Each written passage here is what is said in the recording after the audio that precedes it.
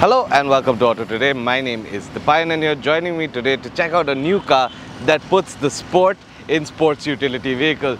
This, ladies and gentlemen, is the brand new Hyundai Venue N-Line and it joins, of course, the brand of N-Line cars that are already on sale in India alongside the i20. Now it does get a few tweaks that set it apart and make it a sportier version of the Venue. So before we jump into our review, let's take a quick look at the details that set the Venue N-Line apart from the standard car. The Venue N-Line, like the i20 before it, doesn't really get a transformational change to the design. In fact, for the most part, every panel is the same as what you get on the standard Venue. The visual updates to the Venue N-Line are primarily focused on aesthetics and that means you get a darker treatment to the grille, red accents on the front and rear bumper as well as on the side cladding and the roof rail. Additionally, you also get a sportier set of N-Line wheels that match the sportier outlook of the N-Line and adding to the effect are red calipers on the disc brake that instantly set the N-Line apart. Finally, you also get N-line badging on the fenders and on the tailgate. But it's not all red calipers, accents and badging. Once you get to the back of the Venue N-line is where things get really interesting. For one, you get this roof mounted spoiler in black which looks really good. You get blacked out tail lamps in the shape of the new Venue. But my favorite feature about the new Venue N-line is these two new split tail exhausts which have a slightly sportier sound profile than the standard Venue and we'll give you a little listen before we take you inside the cabin and tell you what this new Venue is all about.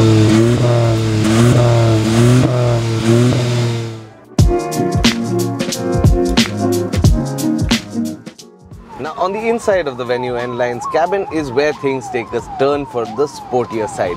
You get all black interiors contrasted with red accents to bring out that sporty, sporty feel from the inside. You get red accents on the dial, you get red accents on the blacked out seats, of course with the N-Line branding on it, red piping as well. Even the drive mode selector has a red accent. Of course at the center of it you get the N specific gear knob which looks really cool and of course you also get a three spoke steering in line with the N-Line branding. You also get these really cool and ergonomic paddle shifters which really add to the drive experience. And I think overall the Venue N-Line is a pretty cool place to be inside the cabin. But of course the proof of the pudding will be once you get to the driving. So let's throw her in D, throw it in sport mode and see how she drives.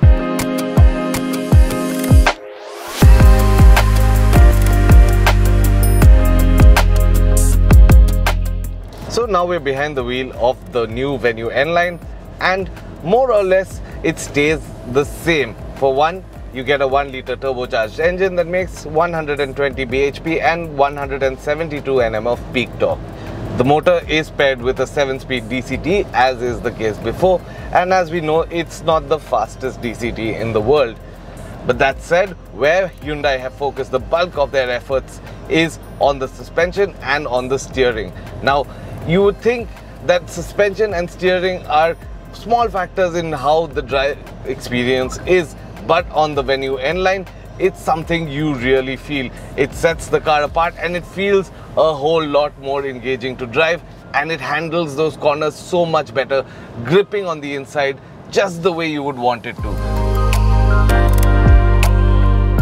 Now, corners are one thing, but when it comes to handling, you think with stiffer springs, the ride is going to be compromised a little bit. But that is where Hyundai have really showed their maturity with great damping functions on the Venue N-Line without really compromising on the overall stiffness of the suspension. Damping rates have been changed as well, meaning that undulations and small bumps are easily absorbed without really being transferred into the cabin. Now another first in class feature on the Venue N-Line is of course the dash cam and that is a great feature of course when you want to record that in-car out-car footage for track days but it also makes a lot of sense in day-to-day -day driving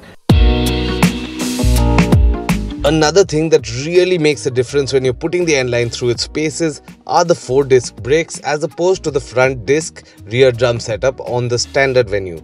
These make for confidence inspiring braking, allowing you to push the envelope further than you would dare on the stock car. And finally, the last thing that adds to just how engaging the Venue N line is to drive is of course that exhaust note that makes its way into the cabin and really adds to the drive experience. Now we've spent the better part of the day driving the Venue N line and there is a lot to like. As far as pricing goes, there are two variants, the N6 and the N8. The N6 sells for about 12 lakh 16,000 while the N8 top of the line Venue N line sells for about 13 lakh 15,000 ex showroom which puts it about 45,000 rupees more than the top of the line Venue DCT SX. So now for the price you do get a much much sportier car and if that is what you're looking for it does offer a lot in fact it does look very different as well so for those enthusiasts among us who don't want to really compromise on the practicality of a compact SUV the Venue N line is now the only hot SUV that you can buy in India of course for that the price seems more than fair but before we go, if you like this video, don't forget to smash that like button and subscribe to the Auto Today channel if you haven't already. This is Didi signing off.